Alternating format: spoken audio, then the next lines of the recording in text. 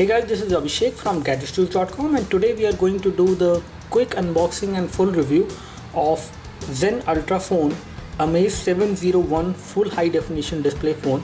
We have seen the 701 HT device previously, but this is the Ultrafone Amaze, whereas the previous one was Ultrafone 701 HT. And this is the package which we have, and we have already removed the phone out of the device and uh, out of the package basically, and we have been using this phone. It comes with this free flip cover, and we do have a they have actually added my name onto the flip cover. And they actually uh, promised that they can do it for the consumers as well. And when it comes to the flip cover this is a magnetic flip cover which is pretty good in terms of the overall functionality as you can see. So even if you flip it like this on this phone you will get the date and time indication over here with this particular window which is pretty good. And again whenever you open the flip cover the phone will turn on. And we will take a look over the flip cover quality and the ports and connectivity and the phone as well. Let's take a look what we have in the, package. So this is how the package looks like. We have the amaze written over here ultrafone written over here. At the back side we have all the specifications of the device mentioned so it is a 1.5 GHz quad core processor phone and you have 5 inch of full high definition display the resolution is 1920 into 1080 it has 13 megapixel camera at the back and the front camera is 8 megapixel fixed focus again but this is the first phone to have 8 megapixel camera at the front. However, we will test that. We do have 1 GB of RAM on this device, 16 GB of internal memory. You have Android 4.2.1 battery is 2050 milliampere hour that is 2050 you have 3g and wi-fi support. You do have assisted gps on this device and bluetooth is also there. When it comes to the sensors, you have accelerometer sensor and magnetic field sensor as well on this device. You have proximity and ambient light sensor as well. You have Corning Gorilla Glass 2 on the front display to protect it from scratches. And it, this device has one glass solution so that it has OGS display. Again will make it quite lighter. And you have a magnesium frame on the edges of the phone and we will just show you that. And once we open the box we see this package. This package has been designed almost like the previous package which we have seen for the ultrafone. However it is quite different in terms of the contents which we have because it is no longer this part of this uh, this part of the package is no longer carrying anything. It is just for the look. And here we have the package contents. We have the ultrafone branding kind of pamphlet at the top then we have the back cover which is back cover which comes within the package of this phone. As you can see it has a texturized design over here at the back side. And it is glossy in nature. It is covered with some kind of screen guard. Again it will look premium. As you can see it does look quite premium in terms of the overall look and feel but it is glossy and looks like kind of glass material. So it will get the fingerprints and scratches quite easily you have the zen branding in the middle. You have ultrafone written over here.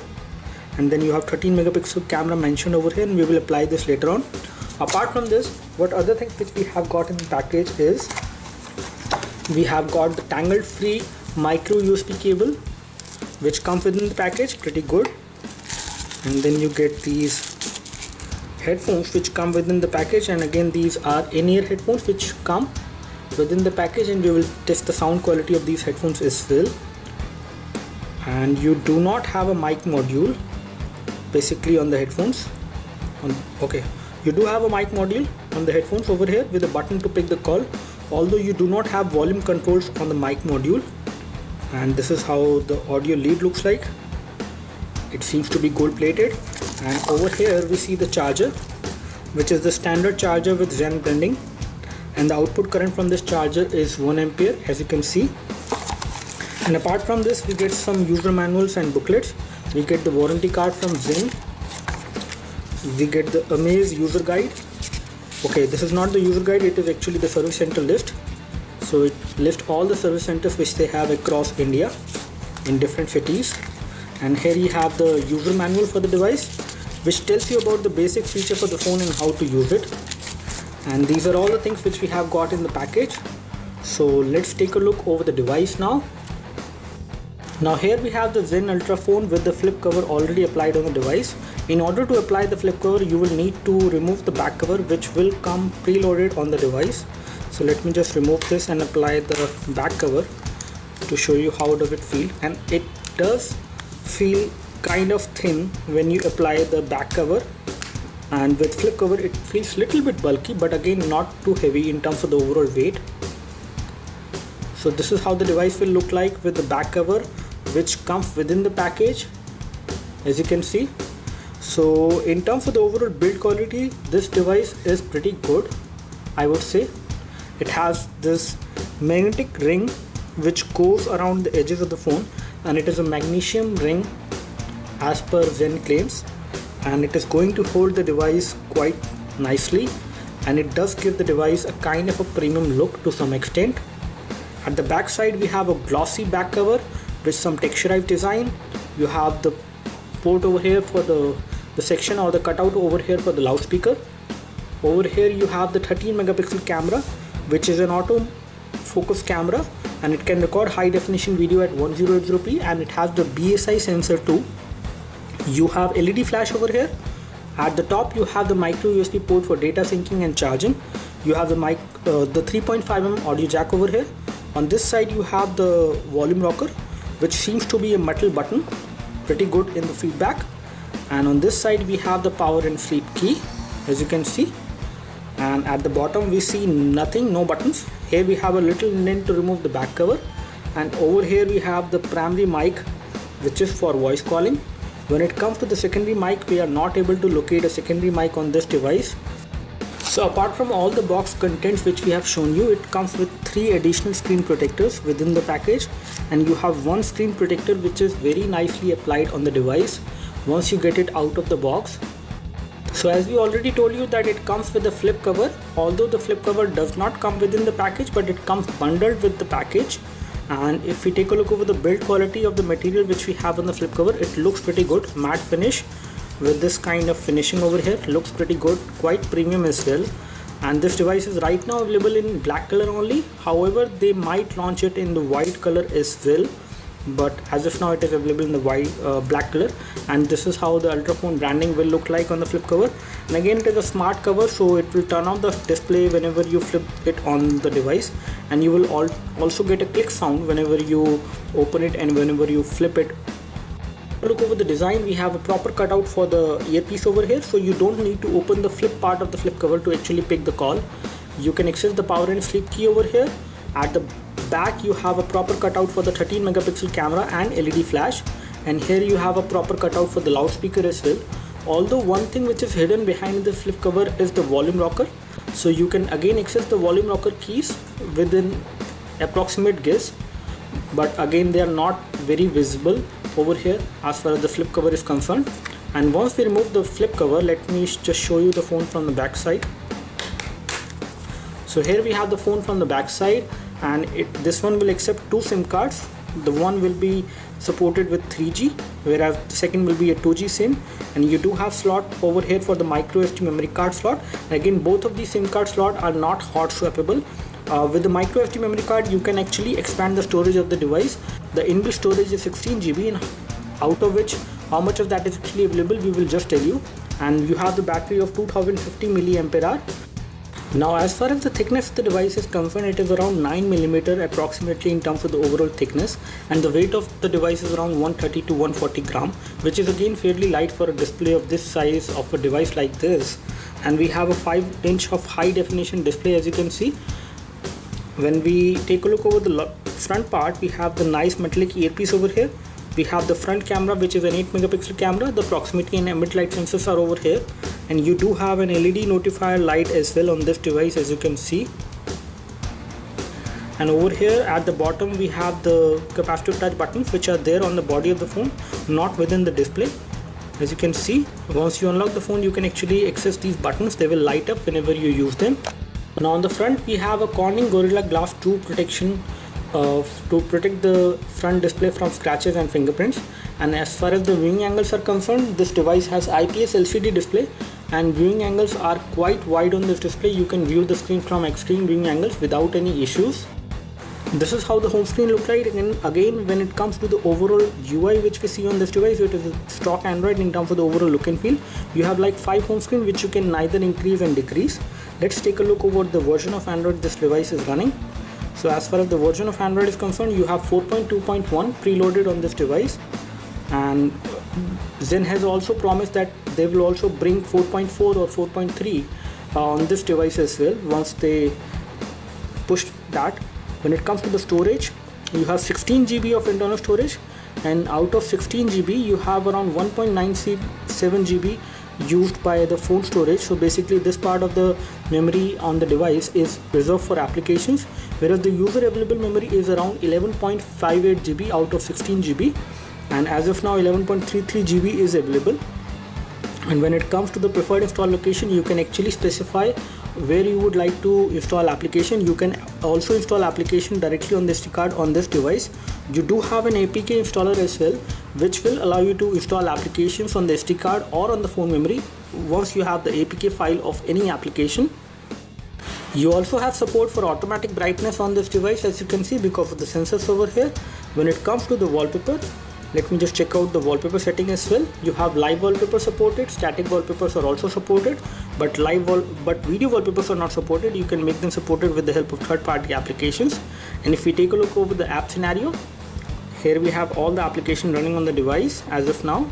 And out of 1 GB of RAM which we have on this device around 487 MB of RAM is used whereas 467 MB of RAM is free for installing more applications and heavy games. Also have support for GPS navigation on this device. For that make sure that GPS satellite option is on. And under GPS satellite option make sure that you check GPS EPO assistance and assisted GPS before you can use this device for navigation and you also have audio enhancement option within the audio profile setting on this phone so once you check this option you will get better quality of sound through the earphones which you can also create a portable Wi-Fi hotspot on this device using the 3G SIM card. You do have support for USB tethering and Bluetooth tethering is also supported on this device. This is how the phone dialer look like and again it is stock Android in terms of the overall look and feel. You do have the option of making a video call directly on the phone dialer application which we have on this device is again stock android and this is how the keyboard look like. And again the keyboard keys are pretty okay in terms of the overall size. You can easily type on this device without any issues.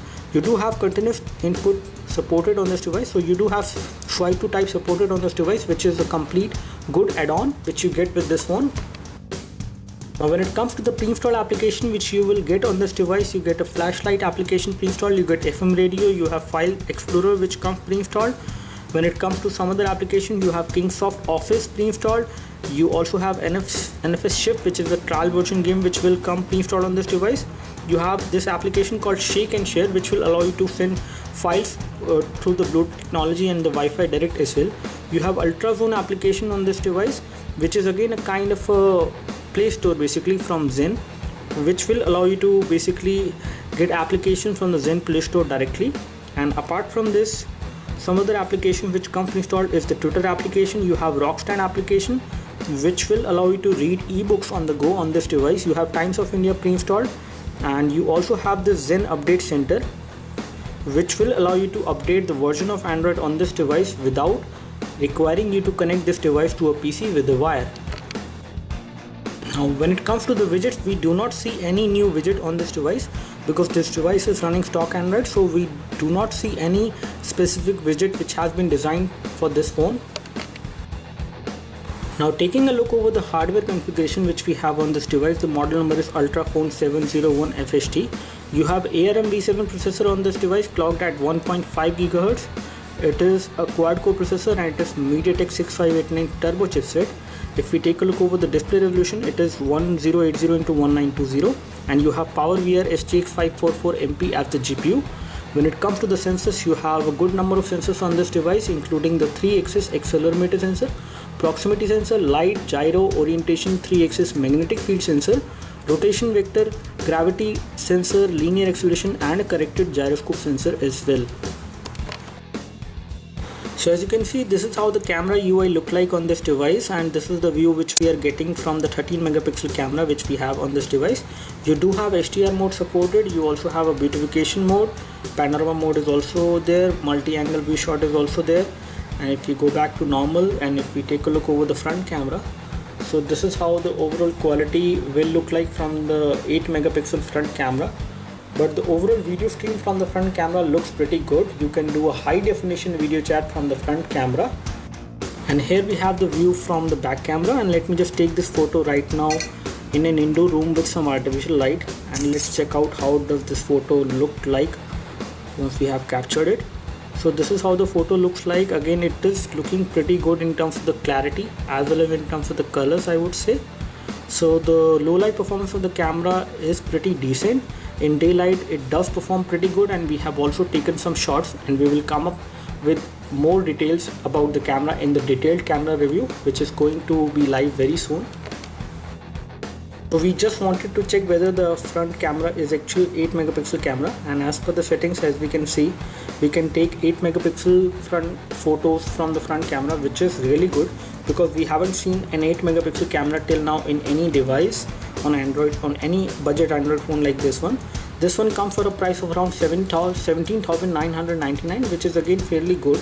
And we can compare this device with Gionee eLife E6 as far as the ISO is concerned you can take it up to 1600 on the front camera. And you can also do a high definition video recording from the front camera. Let me just go back to the back camera and show you the settings again. So on the back camera we can capture the photos at 13 megapixel maximum or 8 or lower as you can see. And we have the burst shot also supported. Up to 99 shots can be captured. You have face detection which you can turn on. You have self timer also supported. You can also specify zero shutter delay. Under video settings you will see the option of electronic image stabilization which you can turn on. And the video quality is set to high as of now with that is a 720p video. And you can also record a 1080p video from the back camera on this device if you set this to fine so the browser again which we get on this device is stock Android browser. As you can see it does have the tab browsing supported. And when it comes to kinetic scrolling we have just loaded our website and there is no problem with the kinetic scrolling.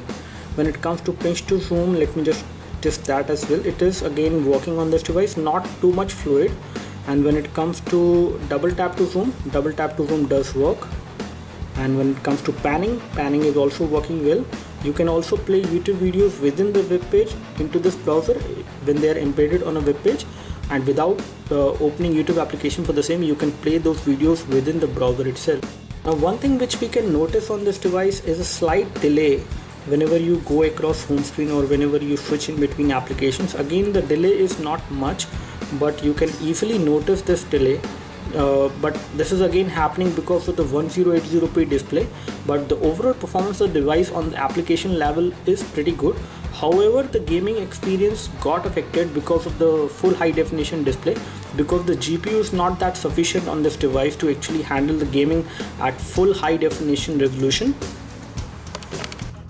and on the Nenamark we have got a score of around 26.6 FPS whereas if we compare the score with the previous Ultrafone 701 HT which was the similar kind of a device little bit low on the hardware but that gave a score of around 46 fps whereas this one is 26.6 fps and again the gaming performance of this device is pretty good i would say.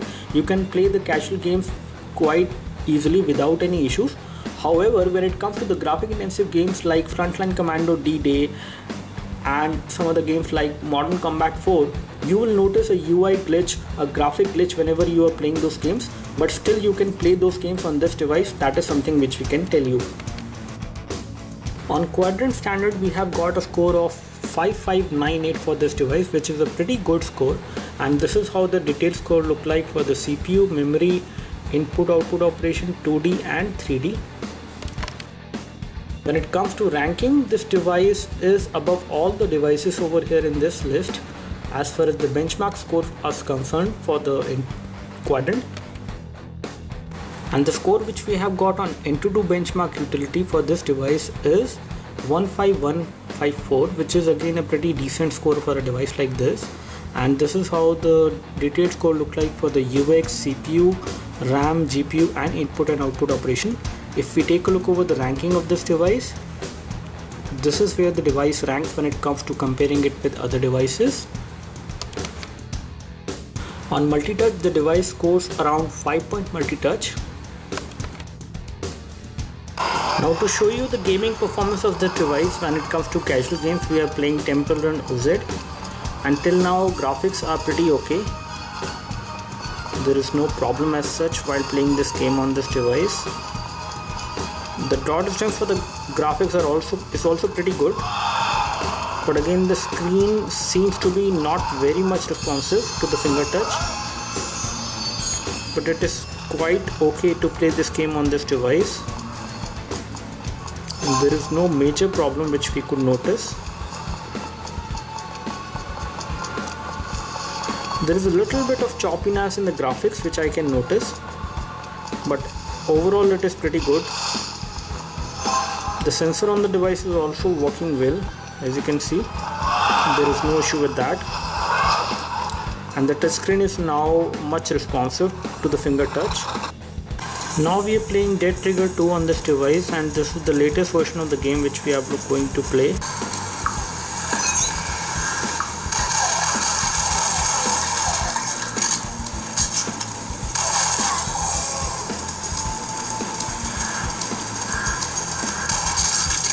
there is no problem with this device while playing this game. As you can see the overall game playback is pretty smooth.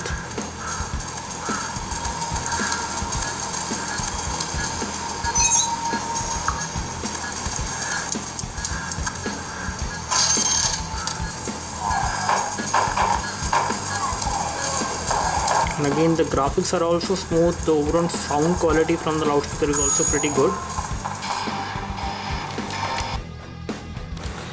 now OTG is not supported on this device. As we have just connected a flash drive with the help of an OTG cable the OTG cable does not come within the package. And even if we try connecting it with the device the flash drive does not get detected. So OTG is not supported on this phone. As if now we are playing a YouTube video from our channel. And this is how the video is getting played. It is again getting played in full screen without any problem and this one is getting played in high definition which is again a good thing because of the high definition resolution which we have on this device. So let me just turn on the volume. So let me just take it to the initial starting point. So you can also get an idea about the sound quality and the overall loudness of the sound which comes out from the loudspeaker And today we are going to so this is how the loudness is going to be from this device. And again the loudness or the volume of sound which comes out from the loudspeaker is not too loud but it is pretty okay. And when we play a video like this and if you play the device like this on a table the sound will get blocked and it will get muffled as well. So the sound will get muffled and blocked to some extent when you place the device like this on a table and as far as the viewing angles are concerned viewing angles are quite wide on this device while playing this video. There is no problem. While watching this video from extreme viewing angles even from vertical angles you can see this video.